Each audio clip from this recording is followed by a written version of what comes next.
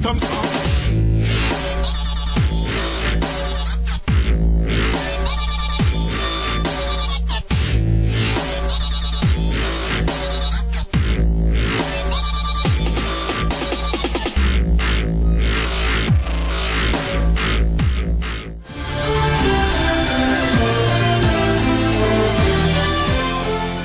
Uma loja de calçados na Avenida Cis Brasil foi assaltada no fim da tarde dessa quarta-feira em Tapes. Segundo informações, dois indivíduos em uma moto Titan vermelha chegaram no estabelecimento na hora em que as funcionárias fechavam o comércio.